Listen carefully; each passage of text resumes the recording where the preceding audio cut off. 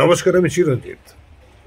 আমি এই মুহূর্তে সুদূর আমেরিকার হিউস্টন শহরে বসে আছি বারাক্রান্ত মন নিয়ে। আমরা কয়েকদিন হলো এখানে এসেছি, আমার মেয়ের বাড়িতে, হিউস্টনে। এখানে আসার পরও, পরপর যেভাবে দুঃসংবাদগুলো আমাদের কাছে পৌঁছচ্ছিল কলকাতায়, লতা মঙ্গেশকর চলে গেলেন শঙ্খ ঘোষ চলে গেছিলেন, তার আগে সৌমিত্র দা চলে গেছিলেন। পর পর পর পর। যেন তার শেষ নেই। এরপর এই গত মাসে চলে গেলেন, শাওলি মিত্র চলে গেলেন, বিরজু মহারাজ চলে গেলেন। তারপরে আমার অত্যন্ত প্রিয় বন্ধু বিশ্ব ঘোটা করতে চলে গেল। আমরা এখানে আসার পরেও কিন্তু যেন সে মিছিলের শেষ নেই। আমাদের অত্যন্ত প্রিয় গায়িকা, গীতশ্রী সন্ধ্যা মুখোপাধ্যায় চলে গেলেন। যার গান শুনে সারা জীবন কাটিয়েছি আমরা। একটা অন্য সংস্কৃতি। হেমন্ত মুখোপাধ্যায়, সন্ধ্যা মুখার্জি, এদের গান বাঙালি জাতিটাকে বড় করেছে। সেরকম মানুষগুলো যখন চলে গেলেন, তখন আমি ভাবছিলাম, এবার বোধ একটুখানি খান্তি দেবেন ঈশ্বর। কিন্তু না, এখানে আসার পর আবার আঘাত। সন্ধ্যা মুখার্জি চলে গেলেন, এবার চলে গেল। আমার অত্যন্ত প্রিয় একটি মানুষ বাপি লাহিড়ি বাপি লাহিড়ির সঙ্গে আমার বহু বহু বছর আলাপ। ও তখন ছোট ছিল, একটা লম্বা হাফ প্যান্ট পরতো।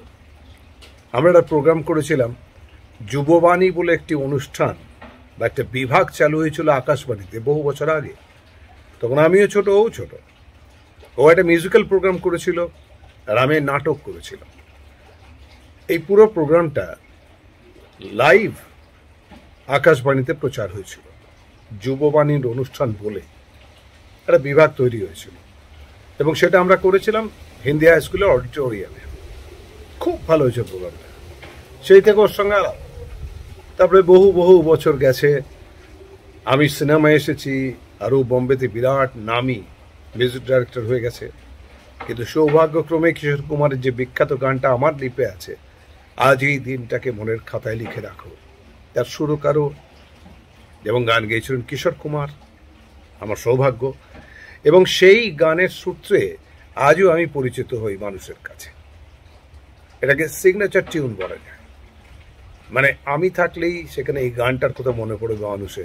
আমি স্টেজে যখন উঠছি তখন এই গানটা পেছনে ব্যাকগ্রাউন্ডে বাজে। আমি আবার কত সময় স্টেজে উঠে এই গানটা গাই, লোকেরা খুব অ্যাপ্রিসিয়েট করে। এরকম সিগনেচার টিউন থাকে, যেমন বুম্বারও আছে। চিরদিনই তুমি যে আমার সঙ্গী। এরকম প্রত্যেকের একটা করে থাকে। তাপসের ছিল, সেটা অবশ্য অজয় দাসের সুর, অসম্ভব ভালো সুর ছিল। আমি যে কে তোমার, তুমি তা বুঝে নাও। দারুণ ভালো টিউন একটা। তো এই যে আকাশটা, অজয় দাস তো কবে চলে গেছেন? কিশোর কুমার চলে গেছেন? লতা মঙ্গেশকর চলে গেছেন? রফি নেই, মুকেশ নেই, কেউই তো নেই তখনকার সেই শিল্পীরা। সেই স্টলওয়ার্টরা সেই নক্ষত্ররা। এবারে বাপ্পি লাহিড়িয়ে চলে গেল। বাপ্পি লাহিড়ির সঙ্গে সুরে অ্যাকচুয়ালি অনেকগুলো ছবিতে আমি কাজ করেছি। রক্তলক্ষা যে সিরিজটা আছে, সেই সিরিজটা ওর সুর দেওয়া। আরও বহু ছবি করেছি আমি ওর সুরে। এবং আমার নিজের একটা ছবি, আমার প্রোডাকশানের ছবি, আমার ডিরেকশনের ছবি, আমার লেখা গল্প ফিরিয়ে দাও, যেটাতে রাখি গুলজার ছিলেন আমার মা। একটা অত্যন্ত সাকসেসফুল ছবি। আমার মনে হলো যে ওকে দিয়ে পুরো মিউজিকটা করাব। সেই জন্য আমি ওখানে গেলাম, বম্বে গেলাম রেকর্ডিং হলো। ও তো সব রাত্রিবেলা কাজ করে।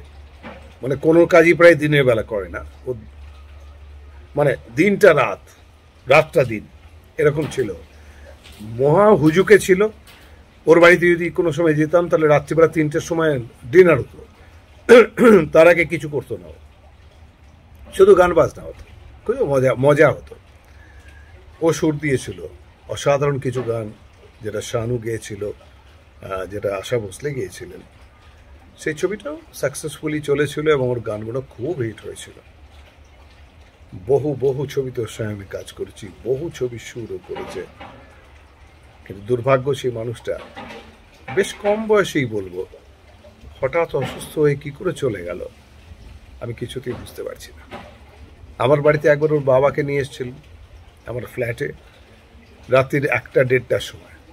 আমার বাড়িতে খাওয়া দাওয়ার ব্যাপার ছিল, ওরা ডিনার করেছিল আমার বাড়িতে। তার সঙ্গে আমার মেয়েকে একটুখানি কিবোর্ড নিয়ে বাজনা ফাজনা শোনাবে, এইসব ঠিক ছিল। কিন্তু ওরা এত রাতে এলো যে আমার ছোট মেয়েটা তখন ঘুমিয়ে পড়েছে। সেই মেয়েরই বাড়িতে এখানে আমি বসে আছি এই মুহূর্তে আমেরিকাতে। অনেক বছর আগের কথা এগুলো সব।